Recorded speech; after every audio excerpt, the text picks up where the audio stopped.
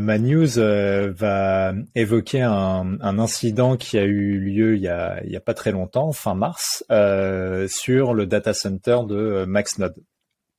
Alors pourquoi pourquoi c'est intéressant d'évoquer tout ça? Alors déjà on va resituer euh, le, le, contexte. Donc le 28 mars exactement, il y a un incendie de vraiment de grande ampleur qui a touché le data center de de Maxnode euh, ou Adélie, euh, qui se trouve à, dans dans l'Ain à Saint-Trivier sur Moignan. quand on dit grande ampleur, c'est que c'est c'est vraiment grande ampleur. Il y, a, il y a presque, enfin, il y a plus de 80 pompiers qui ont été mobilisés, une quarantaine de véhicules. Euh, les, les, euh, comment dirais-je? Alors, il n'y a pas eu de perte humaine, il n'y a pas eu de blessés graves, euh, mais les conséquences d'un point de vue euh, matériel et on va voir euh, et, et, plus sont assez importantes. Parce que déjà, il y a eu un, un risque de pollution atmosphérique très très fort et, et j'expliquerai un peu après pourquoi, euh, qui a poussé à devoir évacuer une partie des habitants qui, a, habitaient vraiment euh, pas loin du, euh, donc je sais plus quel périmètre, mais je crois que c'était 5, 5, 6 kilomètres autour du truc. Donc c'est c'est quand même pas anodin. Euh, euh, donc ça, ça représente pas beaucoup de monde parce qu'il n'y a pas des masses de gens qui habitaient dans le coin, mais c'est juste garder ça en les, à, l'esprit.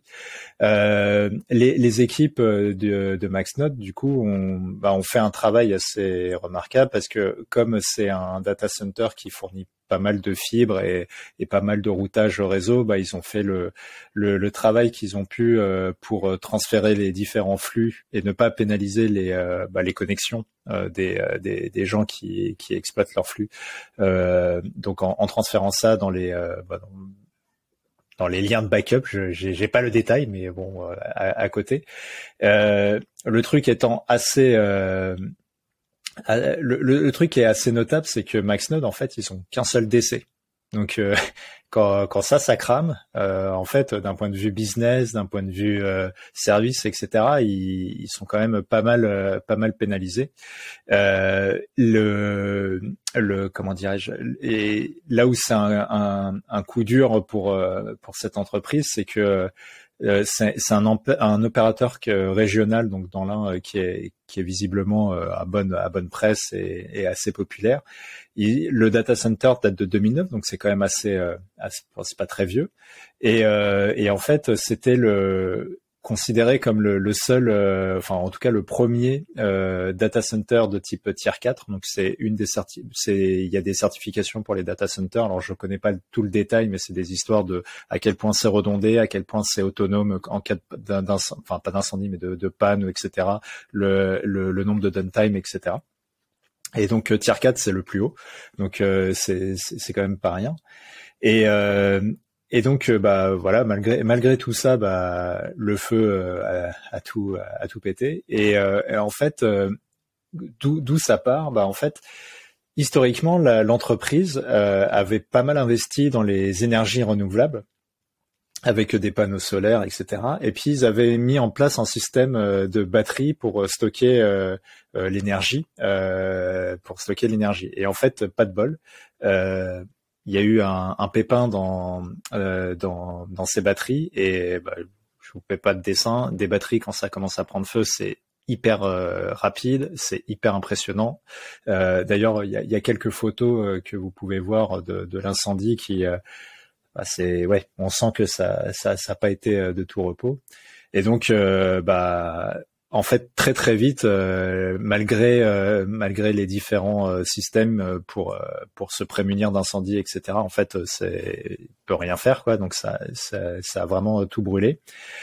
Il y a une chance qui qui paraît assez assez ouf dans tout ça c'est que bah bien sûr les tous les câbles les fibres etc étaient étaient morts euh, donc euh, il y avait un, il y avait un côté black hole euh, si vous passez par, par, par ce décès.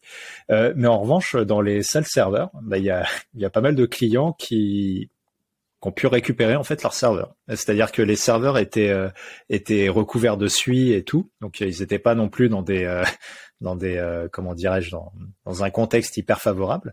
mais en fait, bah, il y, a, y a des boîtes qui qui ont pu une fois l'incendie maîtrisé euh, aller au data center, récupérer les, euh, les, les, serveurs, les nettoyer. Alors du coup, j'ai appris qu'il y avait des boîtes qui étaient spécialisées dans le nettoyage de serveurs.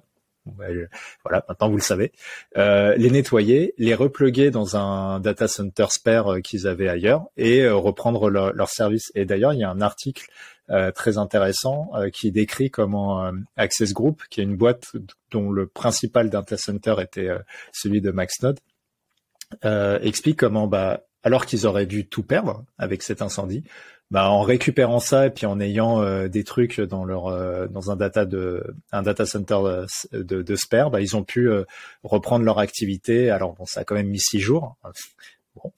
Et mais mais mais malgré tout, ils ont quand même pu reprendre leur truc dans forcément tous les clients qui étaient euh, euh, liés euh, liés enfin qui les clients qui utilisaient la, la partie la, la, partie hébergement de serveurs etc bah, ils ont tous été impactés puisqu'ils étaient coupés. Et et dans les clients notables en tout cas sur lesquels il y a eu de la communication il y a le CHRU de, de Strasbourg et donc, euh, bah, mine de rien, c'est quand même pas rien quand ce genre de d'institution, euh, enfin d'entité, pardon, euh, est, est, coupé. Et là, en l'occurrence, indisponibilité de tous les services en ligne, puisque bah, forcément, c'est là où je où je vais aller dans la dans la conclusion, mais pas de PRA.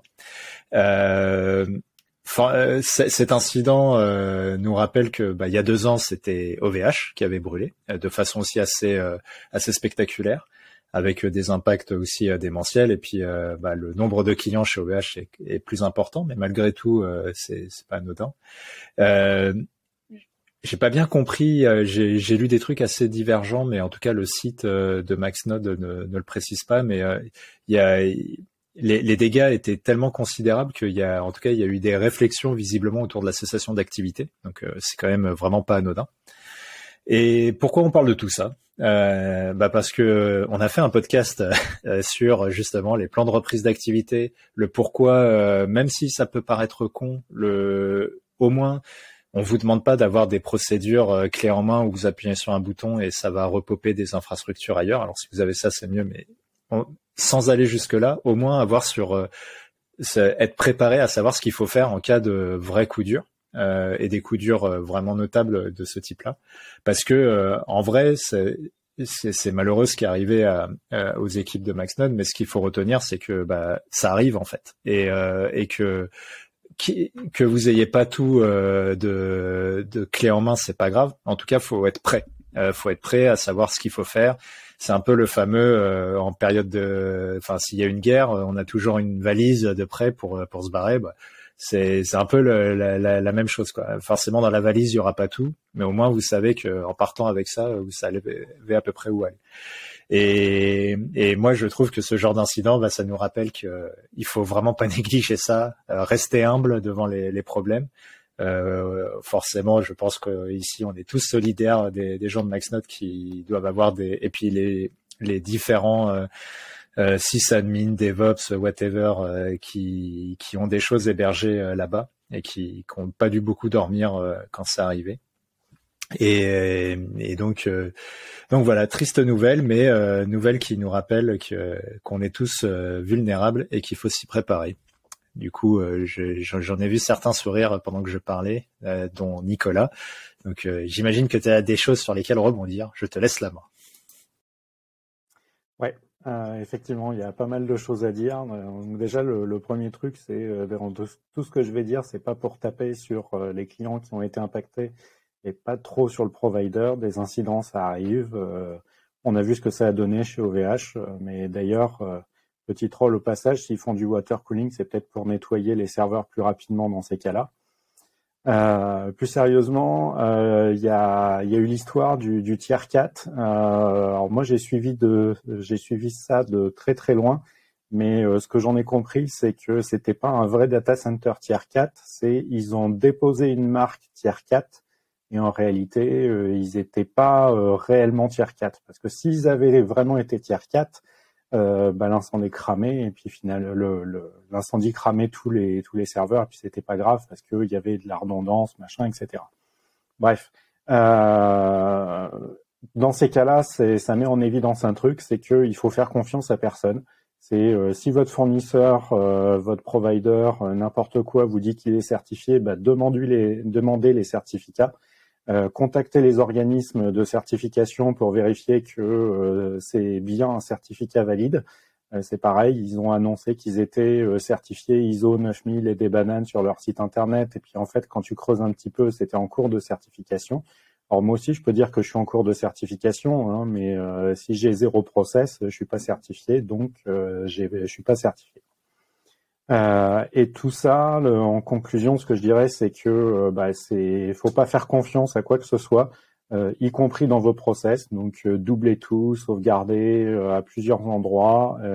et comme le dit Arwan, préparez votre valise, faites en sorte que si jamais il y a un souci, vous ayez un minimum de trucs pour redémarrer. Donc au minimum les données ailleurs, euh, avoir un petit peu préparé euh, des process, quitte à ce que vous ne les ayez pas encore testés, mais réfléchissez au moins à ce que vous allez faire si jamais vous perdez votre data center complet. Voilà. Euh, je ne sais pas ce que tu en penses, toi, René. tu as peut-être senti un petit peu plus la fumée que moi, d'ailleurs. Euh, non, j'ai pas forcément grand chose à ajouter. Je suis juste. Euh, euh, tu as dit que ils, vont reprendre leur activité ou c'est, mentionné dans l'article. Bah, j'ai, lu plusieurs articles sur le sujet et il y a des informations contradictoires là-dessus et sur leur site en tout cas ils disent juste bah, qu'ils s'efforcent à remettre des trucs en place mais voilà donc je, je c'est à prendre avec des pincettes cette, ce côté-là. Mmh, d'accord. Non, bah ouais, parce que je pense qu'après après un tel euh, désastre, je pense que, enfin même le data center en lui-même, euh, pense qu'il y a un certain nombre de choses à faire, euh, le nettoyer, s'assurer que que le bâtiment est toujours sain et tout ça, donc ça me paraît pas pas forcément évident. Enfin, ça va certainement prendre beaucoup de temps pour pour repartir. Mais voilà, j'ai pas forcément plus à ajouter, si ce n'est que ce que tu as dit, que ça peut malheureusement arriver. Et, et qu'il faut autant que faire se peut être prêt à même si je pense que c'est difficilement euh, on envisage assez rarement ces, ces cas-là mais bon on a quelques histoires qui montrent que ça arrive surtout ces dernières années euh, où euh, il y a un data center d'AWS, il y avait un autre data center qui avait cramé, il y a celui d'OVH et maintenant celui-là. prenez ça en compte dans vos analyses de risque vous pouvez perdre un data center. Euh, dans pas longtemps, on va avoir des inondations, des choses comme ça. Donc, euh, prévoyez de perdre un data center dans, dans vos plans. Tu fais bien de parler des inondations et, moi j'étendrai ça au changement climatique parce que pour en avoir, euh, pour avoir interpellé un petit peu les gens de chez Scalway sur Twitter, notamment à la dernière canicule, si ça continue comme ça, il y a des choses qui, qui, qui, vont mal se passer dans les années à venir. Donc il faut prévoir en fait que notre internet va se dégrader. Moi, je fais partie des gens qui pensent que notre internet va se dégrader et que euh, à nous, euh, équipe tech et ops, de, bah, de bien préparer les choses et en effet de faire des sauvegardes externalisées ailleurs, etc.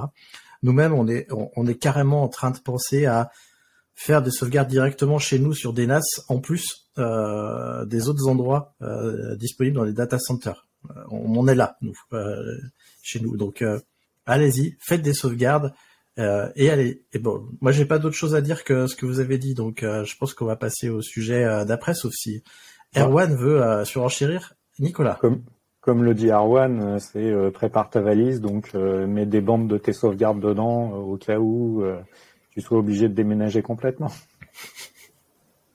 Non, au-delà de la blague, c'est on en a souvent parlé des sauvegardes. Prévoyez aussi des sauvegardes hors ligne parce que euh, moi c'est le truc qui m'inquiète le plus, c'est euh, si jamais euh, je me fais pirater tous mes comptes, c'est facile de tout supprimer via les API aujourd'hui, de réinstaller tous les serveurs, et là on n'a plus que ses yeux pour pleurer. Moi c'est ce qui me fait le plus peur. Bah, je te comprends. nous, clairement, on a pour l'instant une méthode de sauvegarde qui nous appartient complètement. C'est notre serveur Borg. C'est nous qui l'infogérons.